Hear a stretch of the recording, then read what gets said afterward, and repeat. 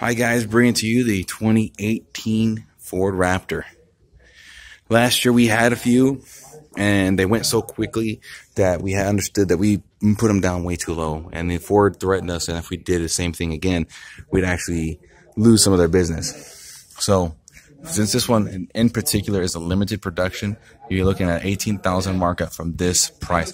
Brings you down to here, right? Even even then, still worth it it comes down to making a decision. Tons of people still love this vehicle. Uh, all the stuff that it has, the lane keeping assistance, adaptive cruise control, you know, the, the crazy stuff on the highway that helps you maintain, but just look how mean it is. That front grille glows up.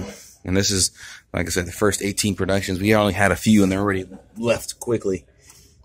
I guess you could say high rollers got them or whatever the case may be, but people bought them because they wanted it. Look at that suspension. Hold on, let me show that again all the way up in there. Alrighty. Right?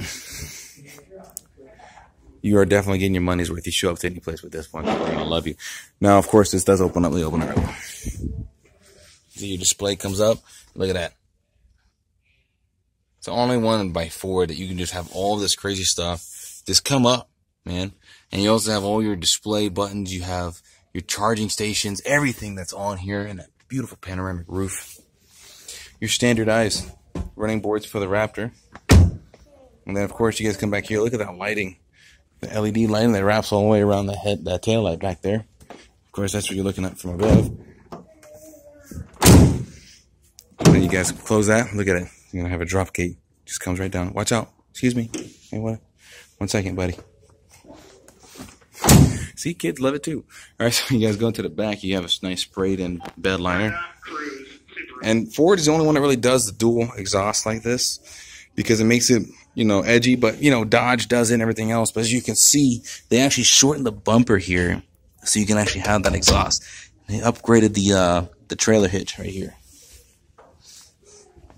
I'm gonna go get take a look at the rear suspension system. Oh, we'll go from above. Here you go, your your Fox suspension again. Honestly, I wish I could turn this thing on and drive it, but you have to li literally be buying it to drive it. It's only got 13 miles from when they drove it from the track, when they test drove it to the truck, and that's it.